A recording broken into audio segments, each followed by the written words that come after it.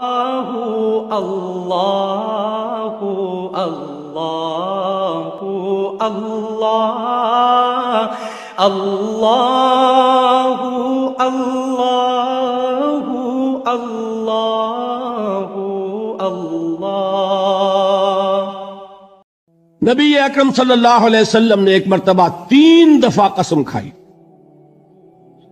واللہ لا یومنو واللہ لا یومنو واللہ لا یومنو خدا کی قسم وہ شخص مومن نہیں، خدا کی قسم وہ شخص مومن نہیں، خدا کی قسم وہ شخص مومن نہیں۔ واقعہ یہ کہ ہم تصور نہیں کر سکتے کہ صحابہ کیسے لرز گئے ہوں گے، کاپ اٹھے ہوں گے۔ کون وہ بدبخت ہے، کون وہ شقی ہے، جس کے بارے میں اللہ کے رسول تین دفعہ قسم کھا کر فرما رہے ہیں کہ وہ صاحب ایمان نہیں۔ قیل من یا رسول اللہ؟ کسی نے ڈرتے ڈرتے پوچھا ہوگا، اے اللہ کے رسول، کس کے بارے میں ارشاد فرما رہے ہیں؟ اب جواب سنیے، الذی لا یامن جارہ بوائقہ، وہ شخص کے جس کی ایزا رسانی کی وجہ سے، جس کی بدخلقی کی وجہ سے، اس کا پڑوسی امن میں نہیں ہے۔ یہ کوئی گناہ کبیرہ ہے؟ آپ کی فہرست میں تو گناہ ہی نہیں، کبیرہ کیا سوال؟ صغیرہ بھی نہیں؟ زیادہ زیادہ آپ یہ کہیں گے کہ ذرا بد اخلاقی ہے، کج خلقی ہے بس۔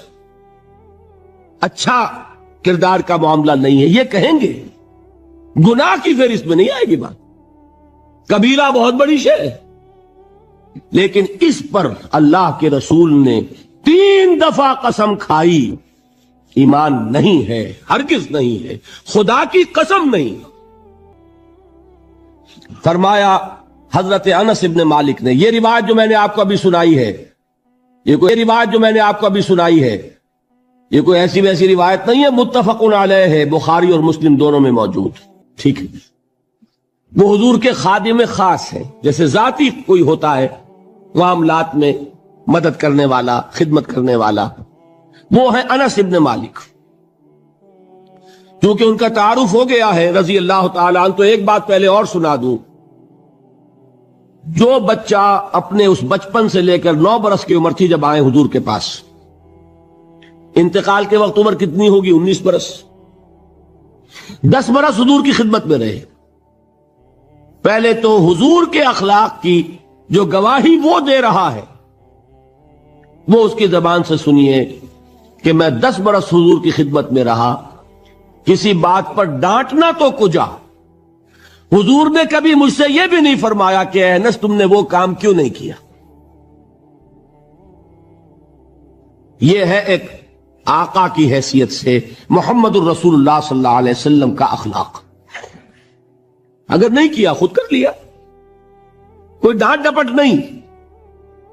حالانکہ بچے ہیں، بچوں کو ویسے بھی ڈانٹ ڈپٹ دیا جاتا ہے، لیکن نہیں۔ اب ان صحابی کی ایک گواہی سنیے۔ قلما خطبنا رسول اللہ صلی اللہ علیہ وسلم اللہ قال۔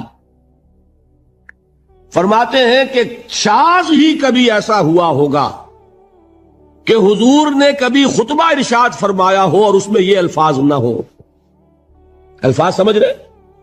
جب بھی خطبہ دیتے تھے، آپ یہ الفاظ ضرور فرماتے تھے۔ شاز کبھی رہ جائے تو رہ جائے۔ قلما خطبنا رسول اللہ صلی اللہ علیہ وسلم اللہ قال۔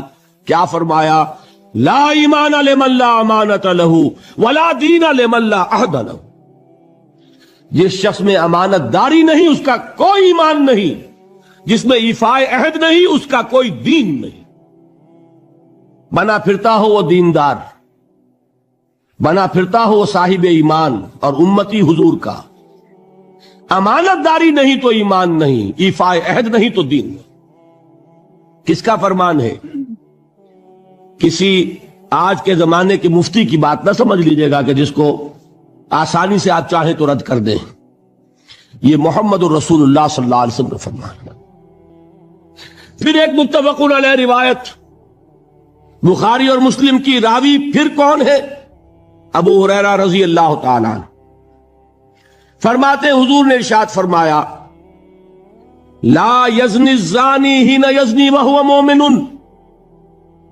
ولا یسرق السارق حين يسرق وهو مؤمن ولا يشرب الخمر حين يشرب وهو مؤمن کوئی زانی حالت ایمان میں زنا نہیں کرتا۔ کیسے ممکن ہے؟ ایمان ہو اور زنا ہو جائے۔ پھر وہ ایمان دھیلے کا ہوا۔ کیا قدر و قیمت اس ایمان کی؟ وہ تو اٹھا کر پھینک دینے کی چیز ہے۔ ایمان اور اخلاق پہ اثر انداز نہ ہو۔ ایمان اور کردار کو نہ بدلے۔ ایمان اور عمل کو نہ بدلے تو کس کس مرض کی دوا؟ پھینکو اٹھا کر۔ نہیں ممکن کہ ایمان ہو اور زنا ہو۔ نہیں ممکن کہ ایمان ہو اور چوری ہو۔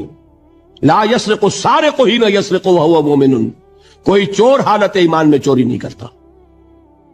کوئی شرابی حالت ایمان میں شراب نہیں پیتا۔ بلا یشرب الخبر ہی نہ یشرب مومن کوئی شراب پینے والا وہ مومن نہیں ہوتا جب وہ شراب پی رہا ہوتا ہے۔ اس وقت اس کے دل سے ایمان نکل جاتا ہے۔ اب دیکھیے یہاں کیا میں نے کل بتایا تھا نا۔ مغالتے کیا ہو گئے؟ مغالتے یہ ہو گئے کہ اس کو سمجھ لیا قانونی بات، یہ قانونی بات نہیں ہے۔ وہ قانونی ایمان کی بات نہیں ہو رہی، یہ حقیقی ایمان کی بات ہو رہی۔ قانونی ایمان کی بات ہو تو تو یہ کافر ہو گیا پھر۔ کافر نہیں ہے۔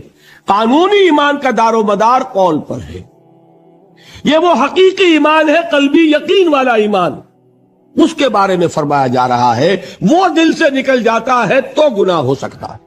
الله الله الله الله الله الله